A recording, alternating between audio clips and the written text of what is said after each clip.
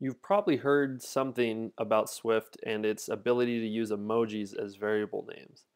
Now, this sounds incredibly crazy and maybe a bit obscure, but I think it's a very cool part of Swift. So I'm going to show you here an example. Here we have a regular old variable named dog, and it's containing a string. Now, rather than just putting here dog, why don't we just use the dog emoji? Uh, I'm using Mavericks on OS X, and if you want to get to the emojis, you can hit Command Control Spacebar, and it's going to pop up this little box. So here under emoji in nature are all these animals, and I'm just going to double click the dog. And now I have a variable whose name is this dog emoji, and you can see that it's a completely normal variable.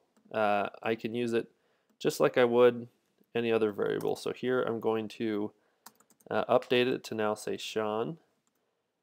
And you can see that's totally valid. You can pass this into a function. Uh, I mean, whatever you want. You could use it uh, as a property. I mean, it's amazing. You can use practically any Unicode character to name your variables.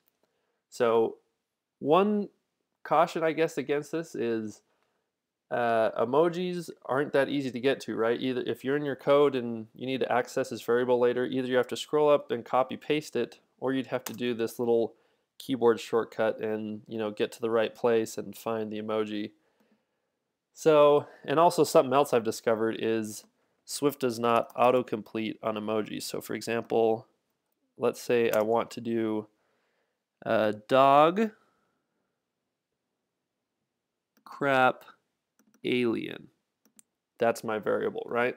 If I come down here and I say, uh, okay, I want to you know work on this dog variable, it doesn't do autocomplete. If I start typing dog, even if I go in here and I input the uh, poop emoji, nothing. So there's a couple of reasons why it's a little bit difficult to use those emojis. Um, but I mean, it's totally your code. You do what you want. Uh, something I think beyond the emojis is very cool about this is for developers that are non-native English speakers. Think about someone who is uh, Japanese and they've kind of been coding and using romanized versions of their own words all this time. Now, for example, I can write inu, and this is a completely valid variable name. And the code for a Japanese developer suddenly becomes much more clear and less foreign. Uh, I need it to make it inu. So I think this is something really cool about Swift. Uh, you can use Unicode for almost any variable name, which is awesome. And be careful with those emojis. Uh, it could make a great prank if you're pushing something into a Git repo, or you may have a completely valid use for it.